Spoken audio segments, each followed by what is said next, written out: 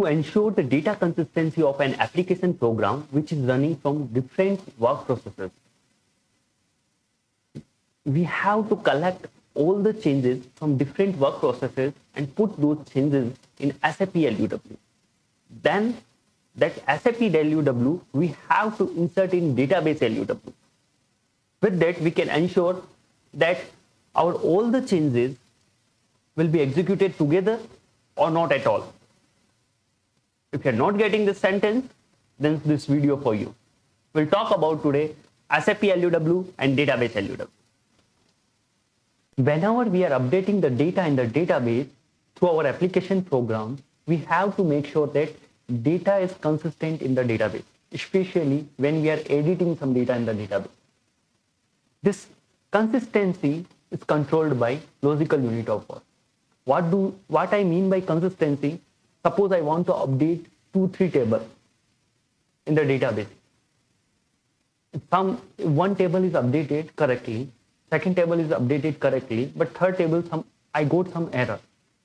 But in this case, I I don't want to up, update another two tables because my third table got error. If I don't use this logical unit of work, that I can't do. So what is this logical unit of work? It's nothing. It's just time span between the two consistent data states.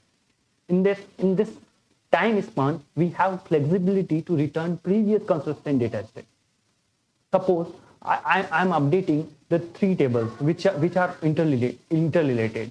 Either I want to update all the data of three tables. If something goes wrong in one of the table, I don't want to update all the three tables. So in this case, suppose I, I have updated two tables and I got some error. So if you work, if I'm working in between these two database state, I have flexibility to return to the previous consistent data state. Using I can revert all the break, revert all changes the back to, to the previous consistent data state. This is called rollback. we are rollbacking our changes if every, if everything goes everything goes okay and we are okay and now we all three table is updated in this case we have to say database everything is okay so we'll do the commit as soon as we do the commit it will reach the next consistent data state of the database so that is the reason i told you that the time interval between the two consistent state of the data state uh, database it is called the logical unit of work in this, we have the flexibility to return. If something goes wrong, we, we can return to the previous consistent data state. In the SAP, we have two types of LUW, logical unit of work. One is the database LUW, second is the SAP LUW. We'll discuss first about the database LUW. A database LUW is a sequence of operations. Sequence of operations means what kind of operation? It can be update, read, or create. This sequence of operation with, which is ending with database commit. This is the database LUW. You can see it's ending with database commit. Whatever the operation within this database LUW, it will execute fully or it will not execute at all. The, this is the not case that half operation is executed and half is not executed it will not happen within the database LUW. Suppose everything goes well and everything goes updated and updated, then database LUW reach to the next consistent state of the database. And after that, new database LUW will open for another operation. At a particular point of this database LUW, if something goes wrong, then so whatever the changes we have made till that point, it will be reverted back and the database will reach to last consistent database state. This is called rollback. So now we will talk about what all are the types of this database commit and rollback and when, when it will happen. Database commit it closes all the database cursor. What is this database cursor? Whenever we write the select query in our program through the database interface, one database cursor will open through the open statement, open database cursor. And it will fetch the data through the fetch and after the getting the data, it will close. This whole thing done by the database inter interface implicitly. We are not doing anything whenever we are writing the select statement.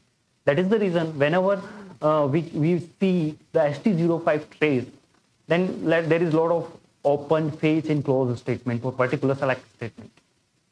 Not only that, sometime we will do, uh, we will, we are dealing with huge amount, data, amount of data. That time we will write explicitly that open database cursor and fetch database and close. How it will behave? Suppose I write open database cursor for one select query which is returning thousand line of thousand line of data. That database cursor will point to the first line of that thousand line of table. As soon as uh, Uh, if I write a fetch statement and I get 200 entries using the count, I want only 200 entries. After the getting those 200 entries, the database cursor will be updated with the 201th entry. Next time database fetch execute, it will execute from 201 to the 200 till 400 entries. Like that, in five steps, we will get the all the data. As soon as when the fetch statement execute, when it will not getting the data, then sidebar will get fail and we have to go close the database cursor. Here we are writing the close data database cursor statement to close that cursor. But whenever the database commit will happen, all the database cursor will be closed. There is one uh, exception for that. Whenever the database cursor statement is executed, but for that database cursor, the fetch statement is not executed. So those cursor, database commit will not close. Apart from that, all the database cursor will be closed by database commit. After that, after closing all the database cursor, database reach to the consistent database state. There is a two type of database commit. One is implicit database commit, second is explicit database commit explicit database commit done by ourselves. When, when we write the commit work and commit connection statement, then that time it will be done. The implicit database commit, commit happen through the system itself. Suppose, for example, completion of a dialog step. What is this dialog step? I have already explained this dialog step in my first video where I have explained about the NetWeaver architecture, R3 architecture. If you want to see, the link is there, you can see. So what is this dialog step? It is nothing, just the processing between the two scripts. For example, I want to open a program. I will write SE38. I will go to SE38 and write the program name. As soon as I enter, and some processing is happening in behind. And in, after some time, we will see the our ABAP program. So that processing is happening in, background. That all processing is called the dialog step. This dialog step is executed by the work process. Especially if I emphasize, dialog work process will execute this dialog step. So as soon as this dialog work process execute this dialog step, it become free for another user. It will not wait for the input for the that from that particular user again it will it will become free and the dispatcher will assign that work process whoever require that particular work process. So that but work process is having the dedicated connection with the database. So, the as soon as that work process become free the user and the database have do, not link between that uh, they don't have any link between the user and database. That time implicit database commit happen that is the one case. Second case, whenever we are calling the function module synchronously or asynchronously, it will be called in another session. That time also database commit will happen implicitly. We are not writing any code, just it will happen due to we are calling another function module. Whenever we are giving any kind of message, error message, information message or warning message in our ABAP program, that time also the implicit database commit happen. I'm talking about database commit, not SAP uh, uh, database commit of the database LUW, not the SAP LUW. Please make sure at this time. I will explain SAP LUW after this database LUW. Or whenever we are calling the call transaction and submit program, that time also this database commit will happen. So you have to make sure because it's very important when we learn about SAP LUW, then we have to make sure when the database LUW uh, commit will happen. Now we talk about the rollback work, database rollback. The same is database rollback also happen two times. One is implicitly and second is explicitly. Explicitly when we write the rollback work or rollback connection, that time it will happen rollback. When SAP developer, ABAP developer want to rollback work, then he can write rollback work. And implicitly done by system, whenever we get a dump, runtime error will get, it will automatically do the rollback. And second time, second thing, when we are we are getting a termination message, we, when when the message type is A, we are getting those kind of message that that will also do the rollback. Now we talk about SAP LUW. First, I want to explain this diagram, what it is doing. Suppose I, I have started one transaction.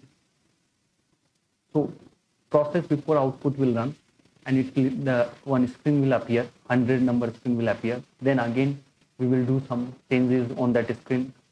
Then we will put enter. Then again process after input and process before output will triggered and again another screen will appear. Like that, we will do again some changes and 300 will screen will appear. As I told you, so between each screen, whenever the screen transition is happening, this is called one dialog step. This is another dialog step. This is another dialog step. There is something happening behind. This preview is happening in this work process. And this PAI and PBO is running in this work process. And this PAI and this PBO is running in this work process. So the work process is changing each time. But work process is having a dedicated link with the database. As soon as the 100 number screen will appear, there will be in this time there will be no link between direct link between the database and the screen. So the database implicit database commit soon as the work process and their work, the implicit database commit will happen. Again, the second screen, same thing, implicit database commit will happen.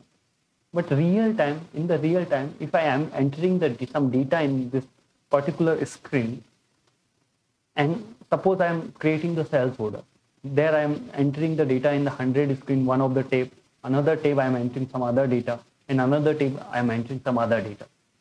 I don't want to commit the data. Suppose I entered header data in this work process.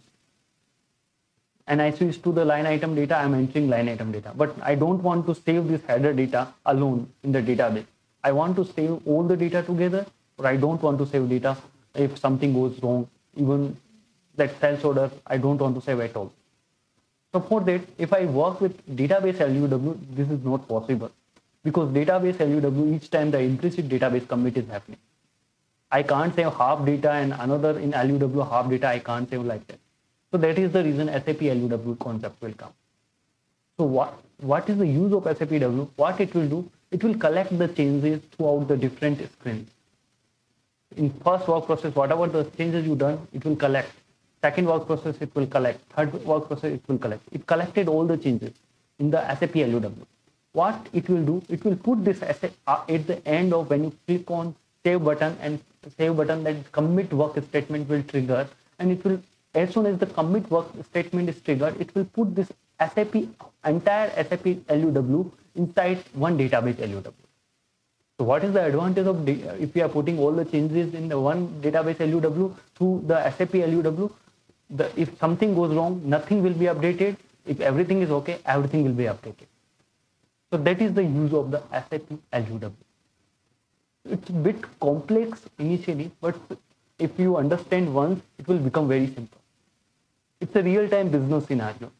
We can't, as we already know, we can't save the changes in the uh, half half half half changes for different screens in the directly database. You always have to collect all the changes throughout the different different screen and that we have to put in SAP LUW and that SAP LUW we will put in single database LUW then the all changes will happen together. Uh, if something goes wrong it will not happen at all. So how to collect these different different changes throughout the different different screens that is called the bundling technique. There is a three kind of bundling technique. One is update function module. Second is transactional RFC Third is bundling using subroutine. These bundling techniques we will discuss in my next session. In this video, we have learned about SAP LUW and database LUW. If you have any doubt regarding this, please write it down in comment, comment section. Please like this video and subscribe this channel. Thank you and happy learning.